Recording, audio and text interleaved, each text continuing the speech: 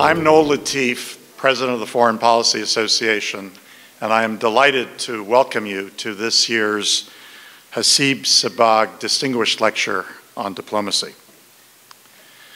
Hassib Sabbagh was a visionary philanthropist and businessman who embarked upon many diplomatic initiatives. His daughter, Sana Sabbagh, follows in his footsteps. Sana is a director of the Foreign Policy Association and an eloquent uh, advocate for cultural diplomacy. It gives me great pleasure to invite Sana to formally introduce our distinguished speaker, Ambassador Nicholas Burns, who will deliver this year's uh, Sabbagh lecture. Sana.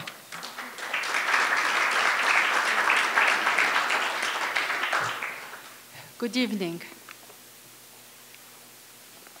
We are delighted to welcome Ambassador Nicholas Burns tonight, who will deliver the lecture tonight in honor of my father, Hassib Sabbagh. Ambassador Burns is the Roy and Barbara Goodman Professor of the Practice of Diplomacy and International Relations at the Kennedy School at Harvard University.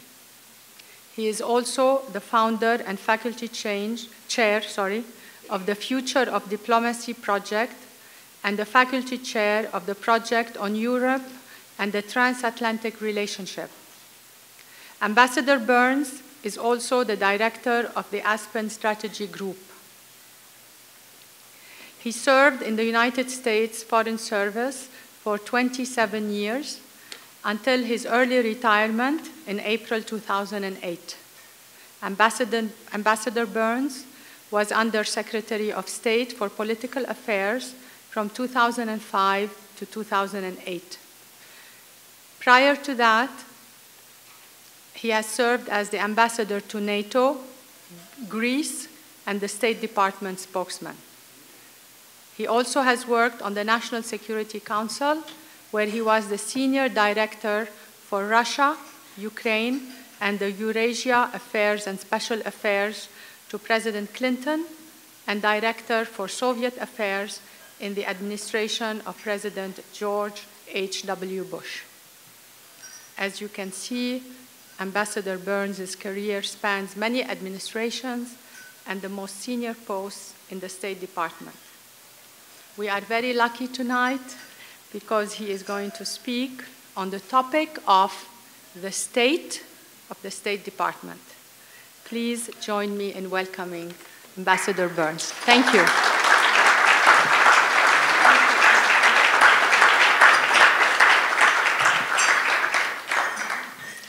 Sana, thank you very much. That was a very kind introduction. I'm grateful for it, and I'm very grateful uh, to give this lecture in honor of your father, Hassib Sabbagh.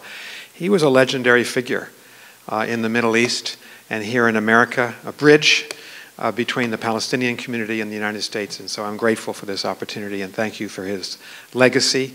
And Noel, thank you uh, for your service as president um, of the Foreign Policy Association and for the invitation and for what you're doing, uh, both here in New York but also around the country to stimulate interest in foreign policy. A lot of friends here tonight, really happy to be in New York. Uh, sometimes when I come to New York, I feel like I'm behind enemy lines because I'm a fan of the Boston Red Sox. We have to be good winners, as we, we tried to be when we won the World Series last October, and now I have to be a good loser. The Yankees just beat us three straight in the Bronx, so uh, we'll see what happens by the end of the year. But I'm delighted to be here, looking forward to talk to you about the state of the United States State Department. It's a subject very dear to my heart.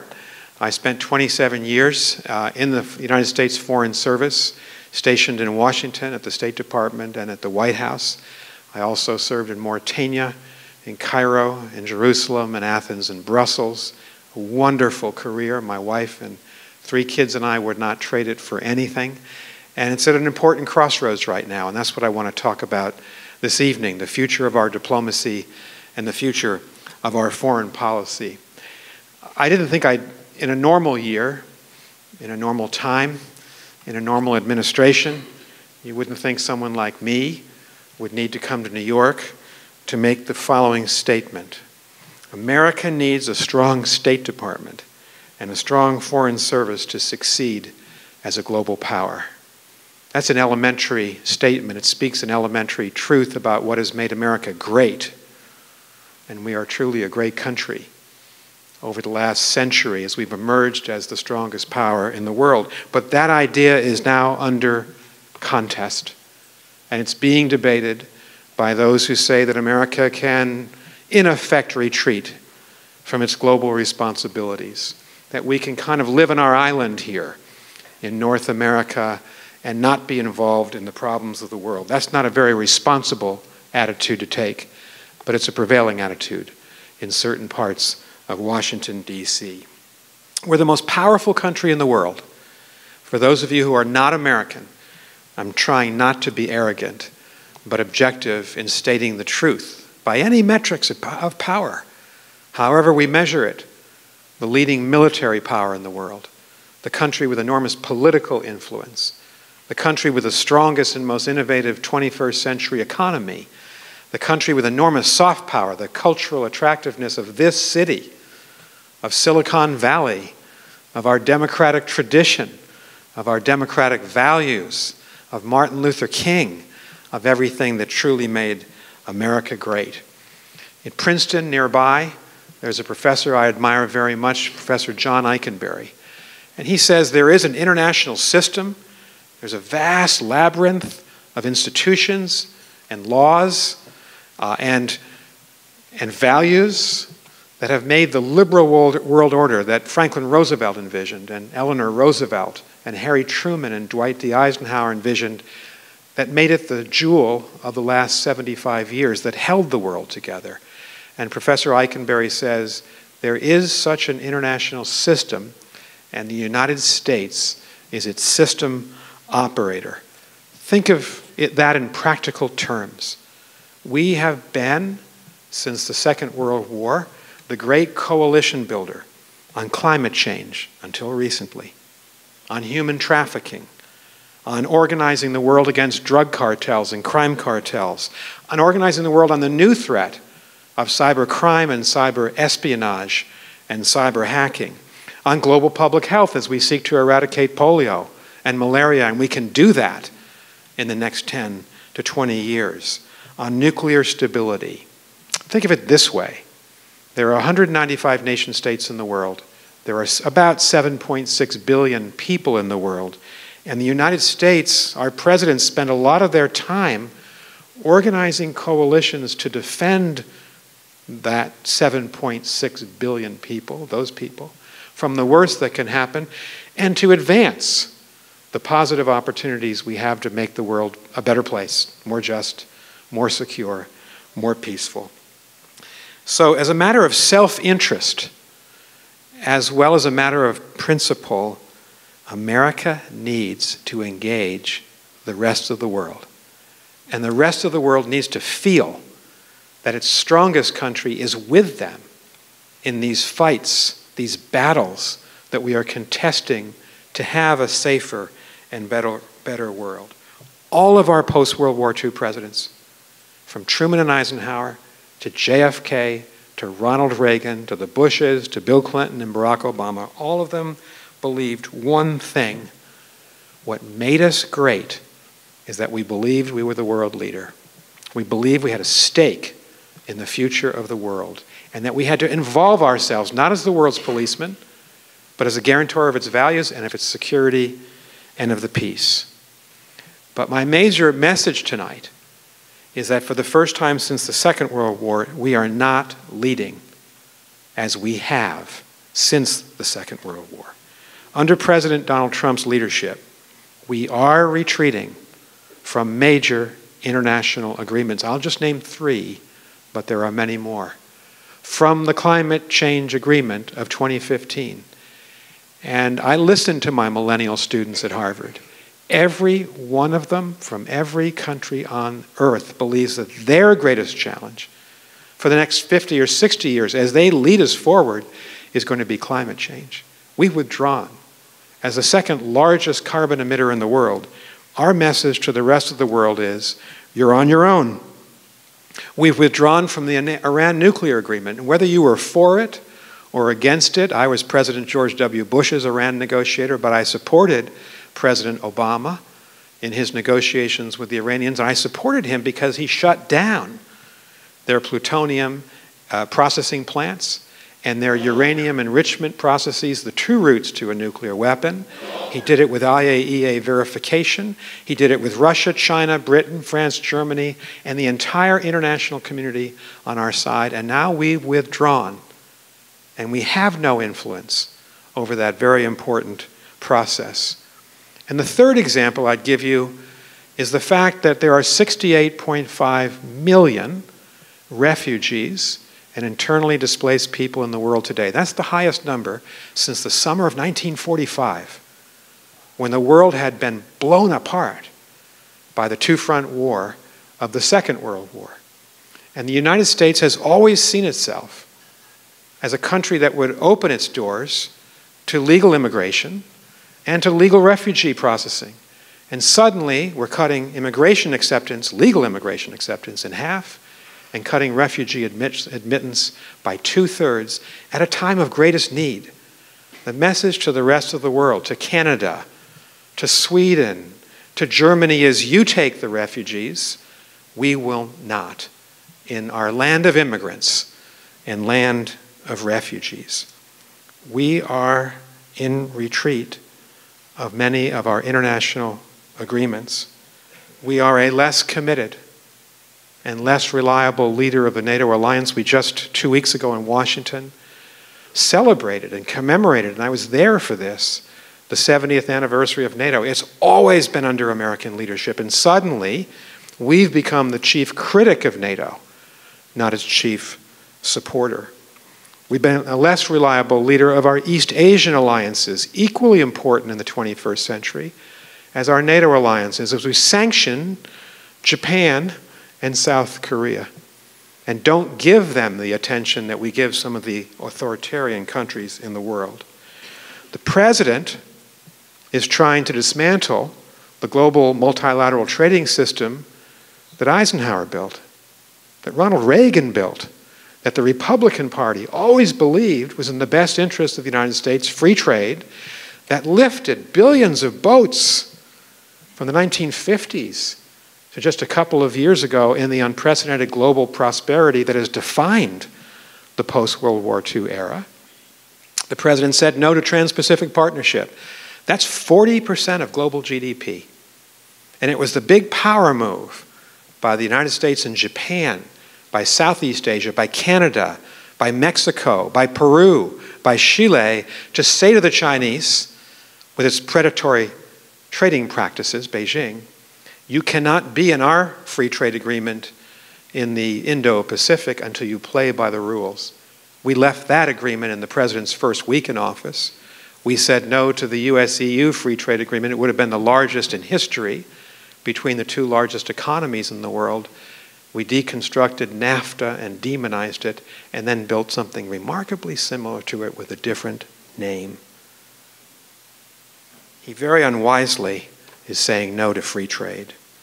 And I think most importantly, for Americans who believe that what really makes us different, special, unique, if you look at our founding documents and founding fathers and mothers, our belief in the rule of law, our belief in human rights, our belief in democracy, we are not leading in the great existential fight underway in Europe, and that's the fight of the democratic countries against the anti democratic populists. Marine Le Pen in France, Geert Wilders in the Netherlands, Alternative for Deutschland in Germany, Viktor Orban in Hungary, the Polish government, all taking their countries, trying to, in an anti democratic direction.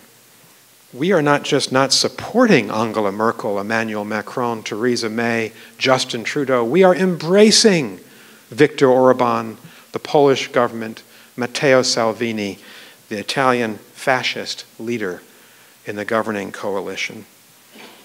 We are flagging in our faith that the United States has to lead. That the United States has to lead first and foremost in concert with our democratic allies. And I think to go back to that immigrant issue, to think of your Statue of Liberty in this city and its message, and to think of the fact that all of us as Americans have an individual immigrant story in our own families, or a refugee story in our own families, how can one conclude that we are not leading as that immigrant refugee nation when we separate families at the southern border, harass asylum seekers, legally approaching our borders as international law advises them to say that they are in danger of political persecution. We denigrate and demonize those seeking refuge from the storms of Central America and the wars of the Middle East. America is facing, as a result, the greatest crisis of global leadership in our lifetime. And all that is happening at a time when the world needs America to keep the planet spinning, to safeguard us from the threat of war and the most terrible weapons of war. That's been the job of American presidents since 1945. Our government has three essential sources of influence in the rest of the world that defines American power, that can help us recover our strength and purpose in global politics. First, we continue to benefit from our great and powerful and best organized military in modern history. We must be careful not to weaken it because the security challenges ahead for the United States in the next two decades may be just as challenging as the last two decades, beginning with 9 11. We are facing with the Chinese a race for technological supremacy in military arms that will be fueled by artificial intelligence, quantum computing, machine learning, biotechnology. We may witness, experts say, in the next two to three decades, an extraordinary revolution in technology so that maybe by the end of our lifetime, some of us, a carrier battle group will be obsolete, an F 35 fighter jet obsolete, a ballistic missile obsolete, as an entirely new generation of military technology takes its place. Who's going to win that battle for military supremacy? The Western democratic countries or China? China has one major advantage it's an authoritarian country with an authoritarian government. It can reach into any research lab in China. It can reach into any Chinese company and say, I want that software, I want that IP, I want that patent, I want that engineer to work for the People's Liberation Army. Quite appropriately, the United States government does not and should not have the right to tell Amazon and Google and Apple that its technology must be given to the United States military. We have to have a consensual relationship between our tech companies and our government, and I hope all of them will want to work with our military so that our democratic nation is not outpowered and outmaneuvered by an authoritarian nation in likely the most important public policy issue of the next several decades how we handle that single issue. With that as just one challenge, and I haven't even talked about containing Putin and responding to the fires in the Middle East and protecting our country from attack, this is not the time to decrease and diminish the defense budget of the United States. We are in a very dangerous period of global history. That's our first source of influence. Our second source of influence is the U.S. intelligence community. And in that cyber hybrid AI world, there is a special premium for a country to field the best intelligence services in the world. I worked closely with our intelligence community throughout my career, and I can tell you we have the best funded and most capable intelligence community in the world, but it doesn't happen overnight. You need to encourage people to go into public service, you need to fund it, and you need to be ahead of the technology curve. The third source of our influence is the heart of what this program and lecture is about diplomacy, the State Department, the civil service of the State Department, and especially the American Foreign Service, which is nearing its centennial, the modern Foreign Service created by the Rogers Act of 1924. Despite its obvious importance to the United States and to our future, the State Department and the American Foreign Service is the least well funded by far, even on a proportional basis, of the three sources that I've talked about military, intelligence, and diplomacy.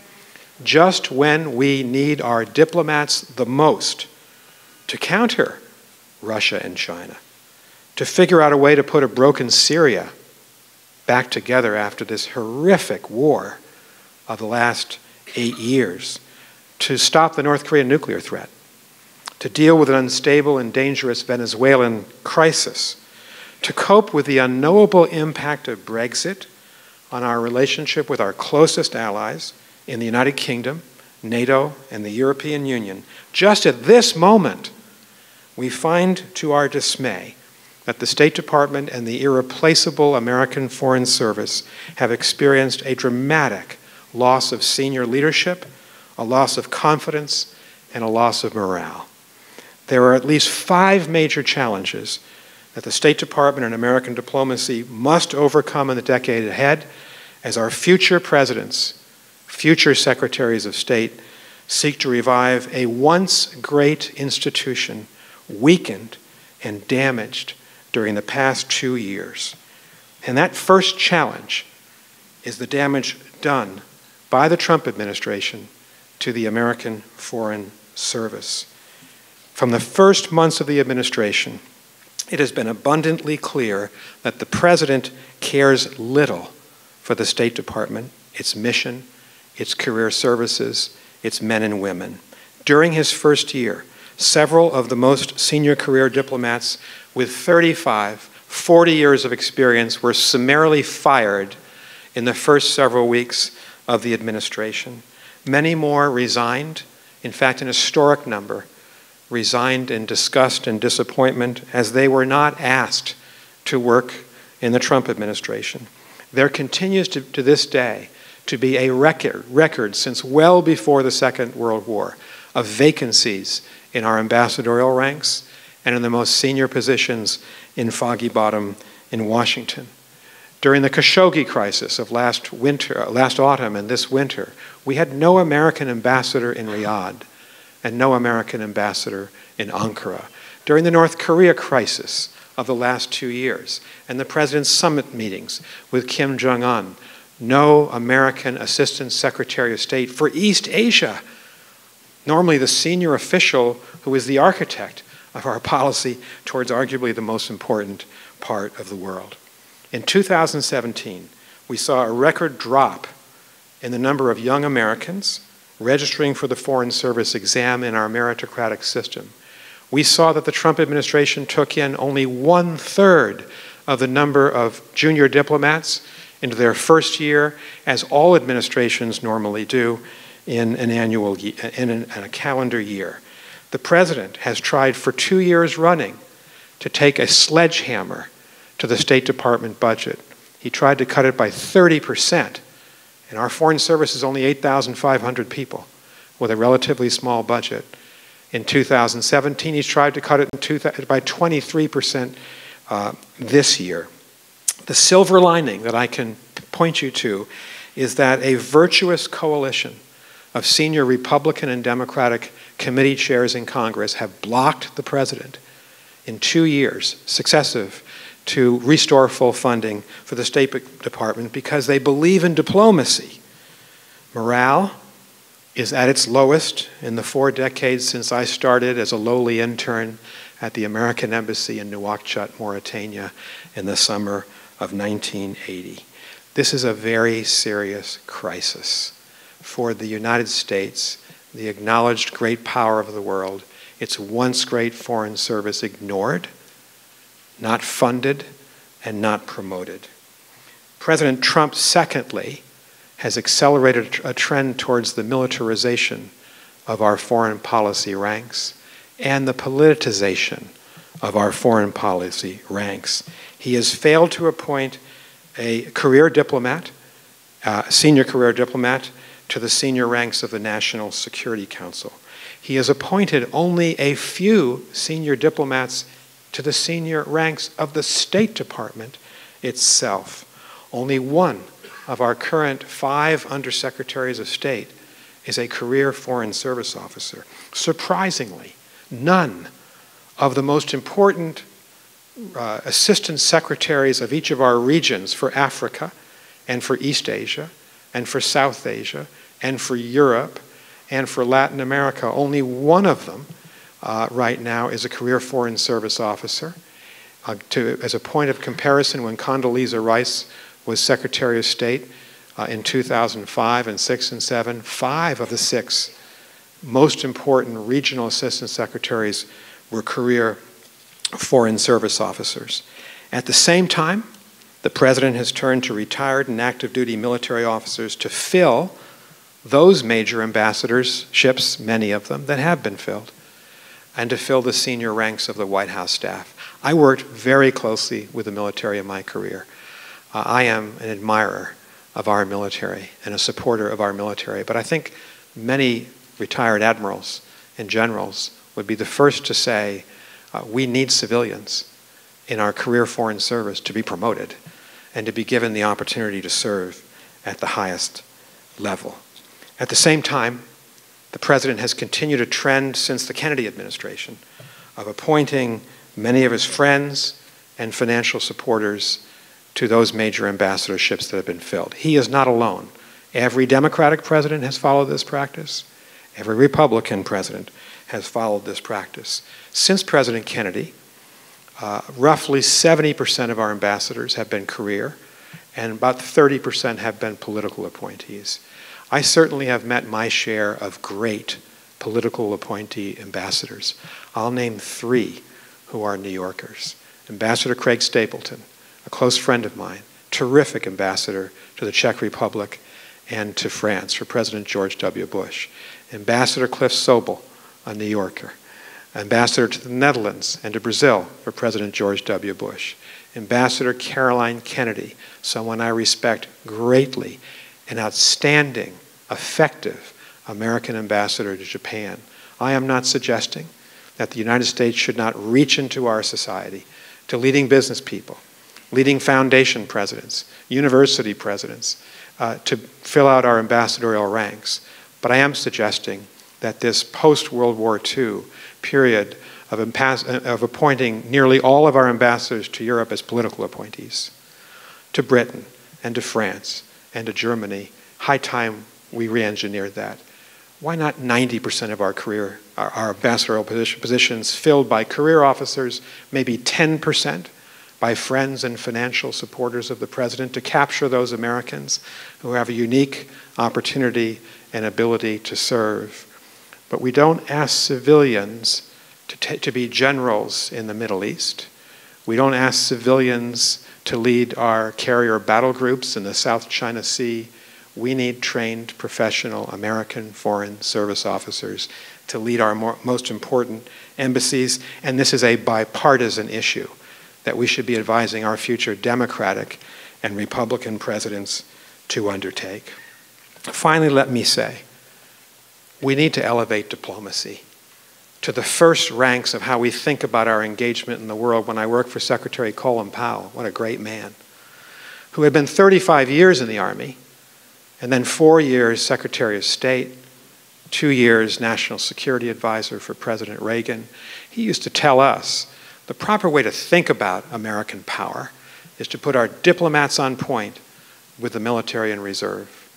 I Think what happened to us after 9 11, and it was understandable we were hit hard, especially in this city. We reversed it. We came out swinging. Two big land wars, eight years in Iraq. Then we left. Now we've had to go back in because of the Islamic State Caliphate. Nearly 18 years in Afghanistan. It's time for us to lead with diplomacy again, with the military in reserve. I think there's a consensus in the military about that. I know there's a consensus the, of, of that in the career ranks of the American Foreign Service.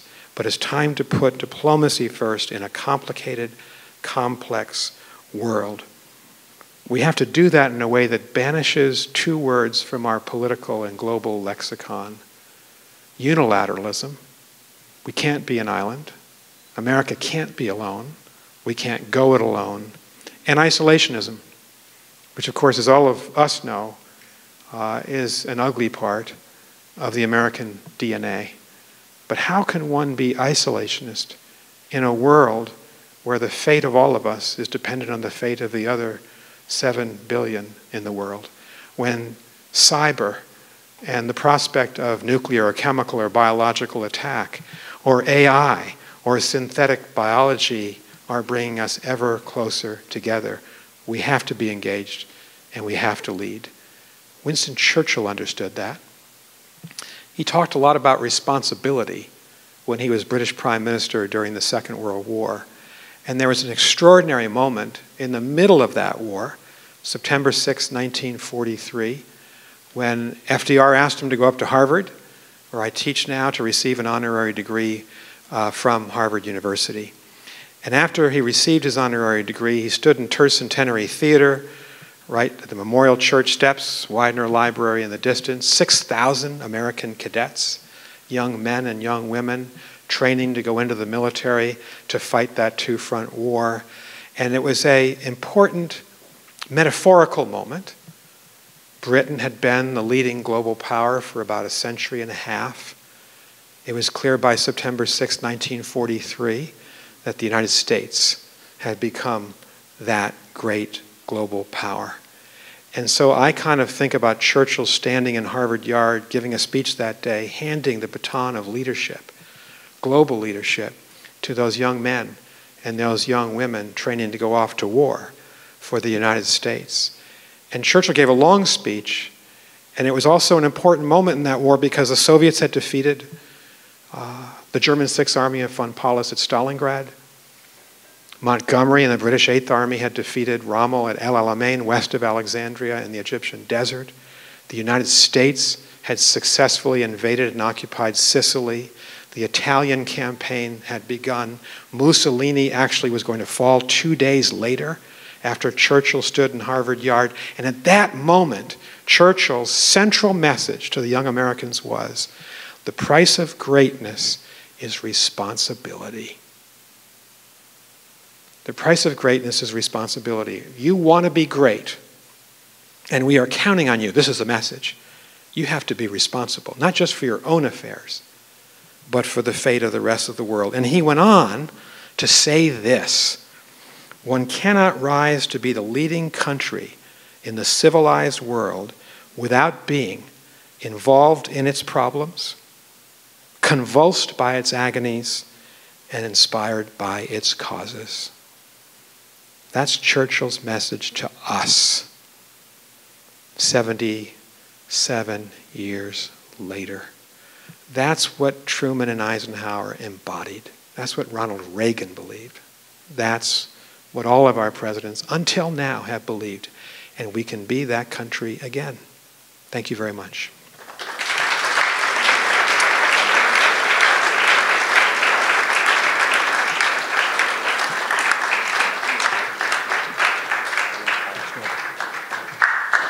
Well, thank you, uh, Ambassador Burns, for those really inspiring and sobering remarks.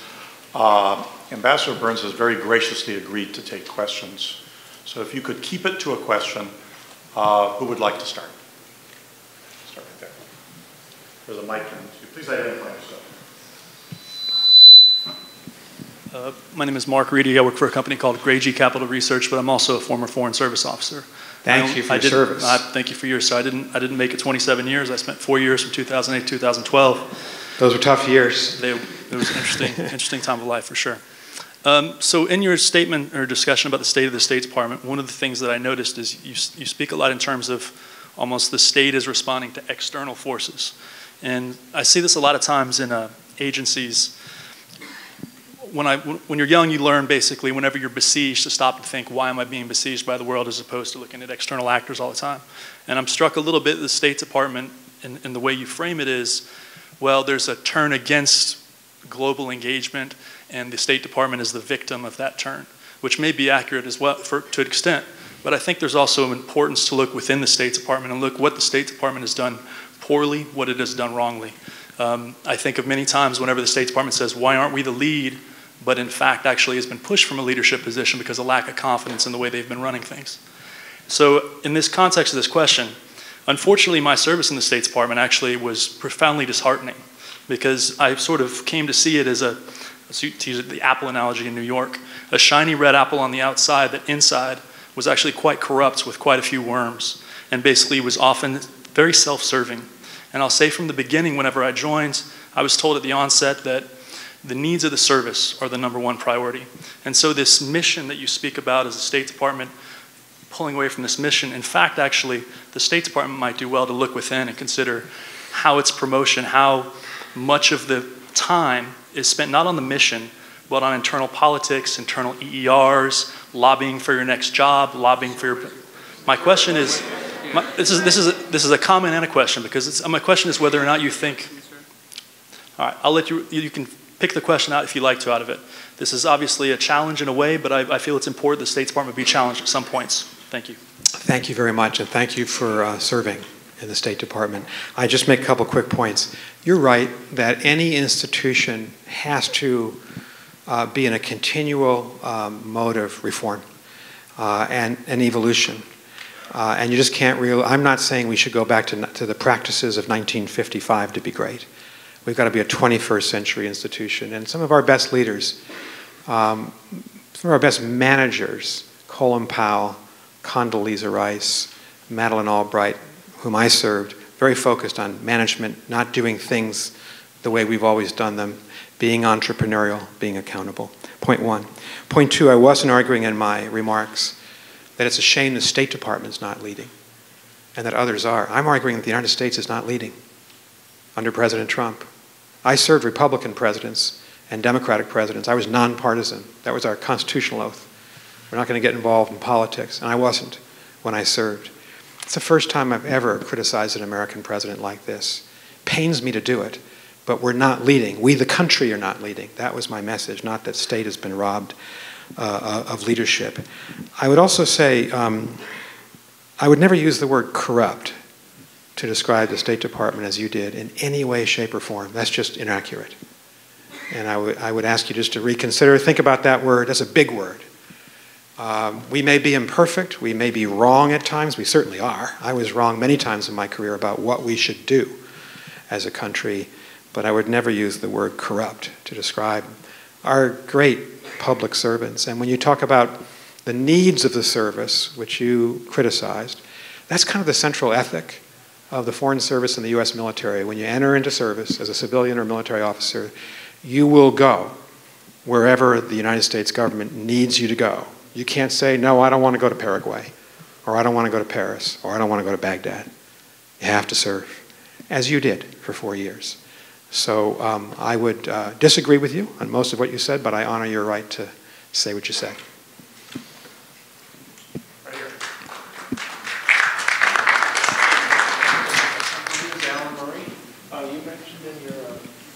Speech that that you mentioned in your speech how important it was for the tech companies to support the military. And um, it's been in the news lately that a lot of uh, some employees of certain tech companies have made them not support the military. So, what do you propose as a solution to that? I think there has to be, um, you know, there have been so many issues, cultural, business between Silicon Valley and the United States government. You remember the cell phone, the San Bernardino terrorists. Does the FBI have the right to investigate the phone? What's inside the phone? And now we have larger issues. Over the next two decades, will our greatest scientists and engineers help the United States government to evolve militarily or not? The great glory of our society is that the U.S. government should not be able to compel anybody. And, and many of the companies have stood up to say they want to help, but there are debates in others uh, among the employees. And so I think what we need is leadership. Leadership in Washington to understand a different culture. It's a two way street. Uh, and leadership in the tech companies to understand that they are American uh, and that their basis is in this country, even if they're globally oriented as multinational corporations. I think we're beginning to see a change uh, in many of the tech leaders who've been reminded of this and who understand these responsibilities. So I'm not pessimistic about it, but it is an initial hurdle that we have. I don't know who's ahead and who's behind. There are so many different races. Quantum computing, that's the ability to break any code. If you gain the advantage in quantum computing, you can't safeguard any secrets or patents or banking information from criminals. Uh, artificial intelligence will revolutionize probably space based uh, military technologies. So this, the stakes are about as high as they possibly could get. And I think it's just that working away at this conversation between official Washington uh, and Austin, Texas, Raleigh, Durham, all of California, Cambridge, Massachusetts, New York are big tech centers in the United States, and we've all got to be part of that conversation. I'm not, I'm not pessimistic about it. I think we're probably heading in the right direction, but wanted to note it as a big challenge for us.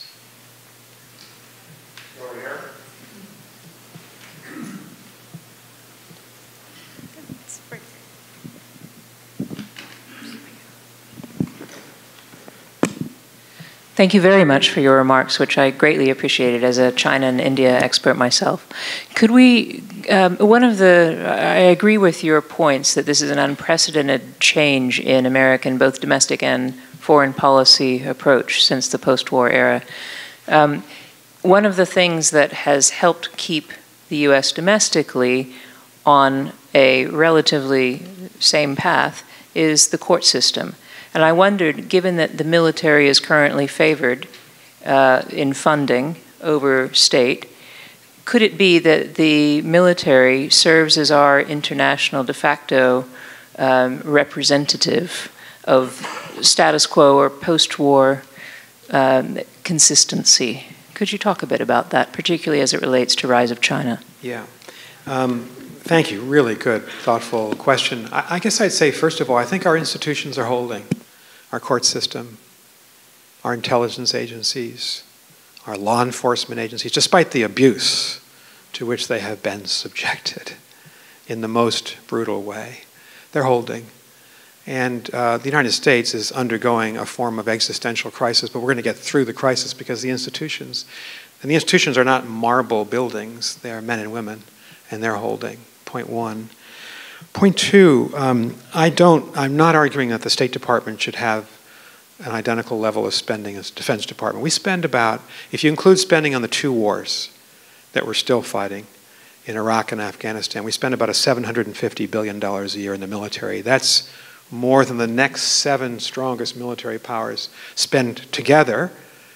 But I still think we can't reduce the defense budget, budget appreciably given the new threats on the horizon you may know that from 2001, 9 11, until last year, it was the policy of George W. Bush, Barack Obama, and in his first year, President Trump, to say our single greatest threat is terrorism. President Trump, I think, rightly changed it and said our, our single greatest threat is the aggression and assertiveness of China and Russia. So we've got to be able to take that on.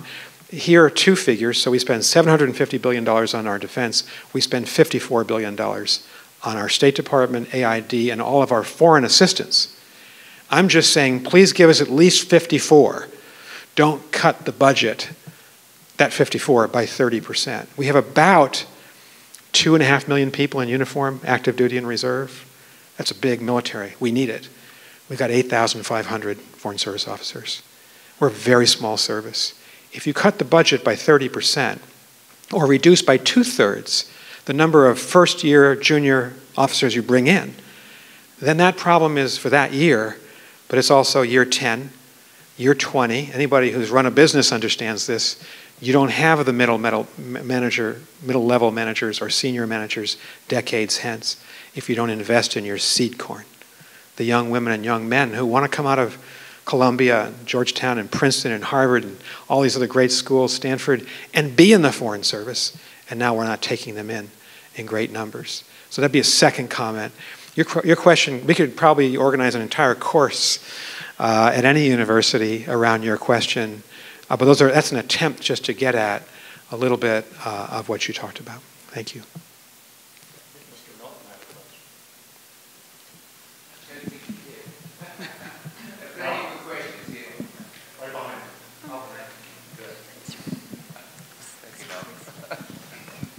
Excellent. My name's Chris. I really enjoyed your remarks.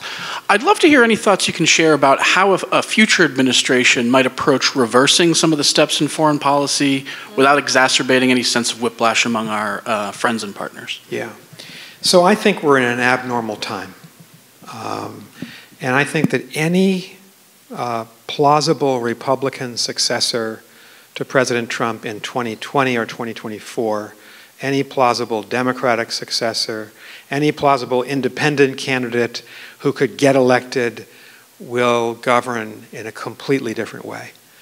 I think most people who are involved in government on the foreign and defense policy side would agree with the statement that we've dug ourselves a pretty deep hole in terms of our credibility as a leader.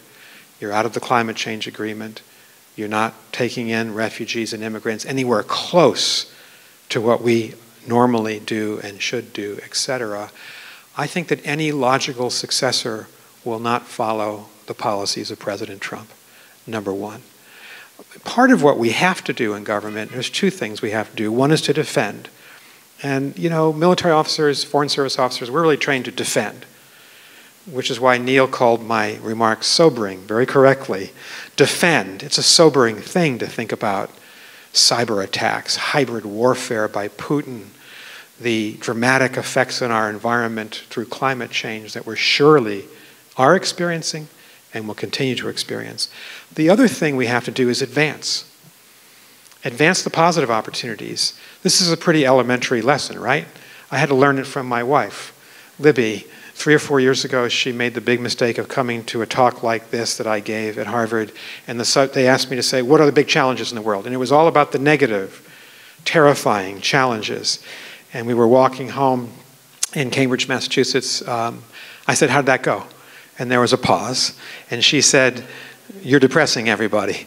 Uh, and I said, I said, What do you mean by that? She said, I get that there are a million problems out there that we, the global leader, have to take on.